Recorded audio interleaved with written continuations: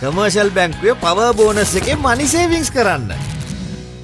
මතුකම අගලවත්තේදී සමග ජනබලවේග ජනපෞර වැඩසටහන පසුගියදා පැවැත්වුණා. ඒ විපක්ෂනායක සජිත් ප්‍රේමදාසගේ ප්‍රධානත්වයෙනුයි.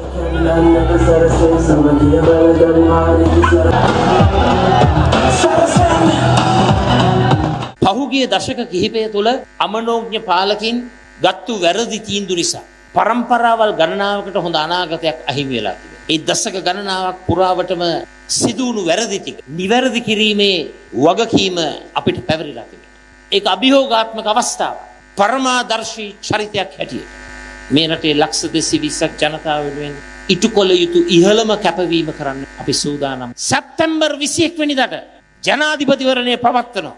ඒ නිසා කරුණා කරලා ඔබ මේ වර්තමාන ජනාධිපතිවරයාගේ මූලිකත්වෙන් ක්‍රියාත්මක කරන ලාභ ලබන රාජ්‍ය සම්පත් රාජ්‍ය දේපල විකුණා දමන කුමන්ත්‍රණකාරී ක්‍රියාවට ඔබ හවුල් වෙන්න එපා. එසේ කළ තිබුණොත් අනිවාර්යෙන්ම එයට සම්බන්ධ සියලුම දෙනා අපි නීතිය හමුවට ගෙනෙනවා. මට අයිතියක් තියෙනවා මගේ දර්ශන ඉදිරිපත් අපි දැනුමෙන් සන්නද්ධව පෝසත් රටක් ගොඩනගමු. DP Education අනිත් අය වගේ නෙමෙයි. මම මගේ දර්ශනය, මගේ පක්ෂයේ දර්ශනය, මගේ සන්ධානයේ දර්ශනය මම ඉදිරිපත් කරන්නේ විපක්ෂයේ ඉඳගෙන බය නැතුව රණසිංහ ප්‍රේමදාසගේ පුතාට මේ හයිය ලබා දෙන්න.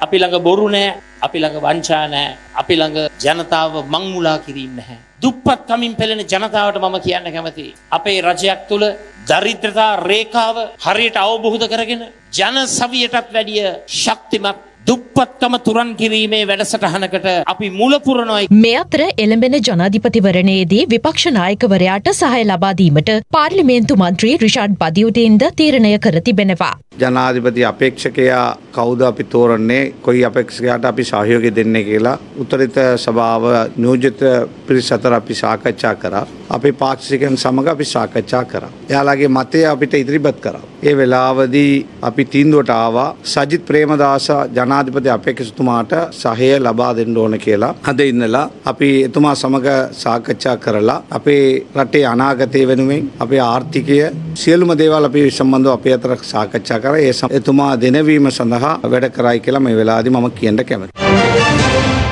රටේ ලෝකෙ සිදුවන උණුසුම්පුව දැනගන්න සියත නිවස් YouTube චැනල් එක අදම සබස්ක්‍රයිබ් කරන්න.